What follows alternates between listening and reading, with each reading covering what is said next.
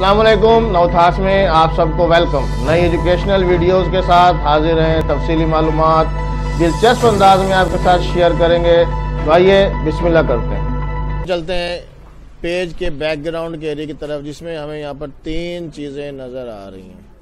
Water mark है page का colour है पेज का बॉर्डर है। वाटर मार्क क्या होता है? वाटर मार्क आमतौर पर बैकग्राउंड में लाइट सी शेड में लिखी हुई या बनी हुई कोई तहरीर या तस्वीर होती है। कोई मोनोग्राम हो सकता है, कोई लोगो हो सकता है। जैसे आपके सर्टिफिकेट्स आप देखते हैं, प्रिंट हुए होते हैं बोर्ड्स के तो उसमें भी आप ये देख रहे होते हैं कि बोर्ड का मोनोग्राम बना हुआ होता है, लाइट से कलर में। इसी तरह कुछ लोग जो है वाटर मार्क इसलिए लगाते हैं कि वो कॉपी से बचना चाहते हैं क्योंकि बहुत से लोग जो है कॉपी कर लेते हैं। जैसे आप चैनल्स पे देख रहे होते हैं कि जब कोई एक्सलू, एक्स, एक्सक्लूसिव खबर चल रही होती है यानी जो सिर्फ़ वो एक ही चैनल पे चल रही होती है तो उसके साथ वो बारीक से पट्टी भी चल रही होती है डीम से कलर में। जियो news A R Y news उसमें ताकि जब कोई इसको कॉपी करे तो वो पट्टी साथ शामिल हो जाए। ठीक है, कॉपी से बचने के लिए भी कुछ लोग ये काम करते हैं।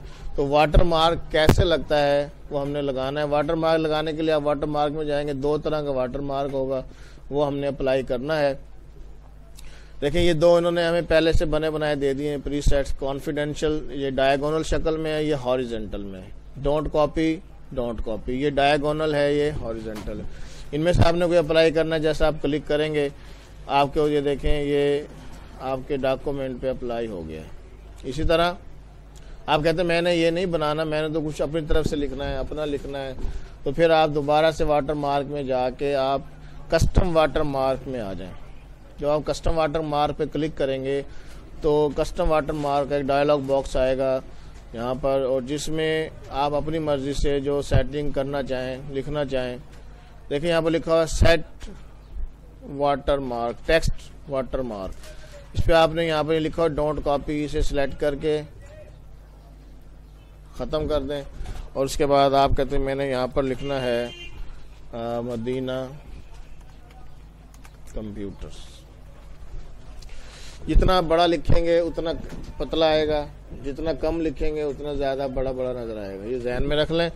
अच्छा कलर आपने चेंज करना है, इस पर grey colour by default set होता है डायगोनल पे सेट है। आप कहते हैं, मैंने इसका कलर भी चेंज करना है, कोई भी और कलर में आप देना चाहते हैं, इसके बाद आप उसको अप्लाई कर दें ओके कर दें, या क्लोज कर दें।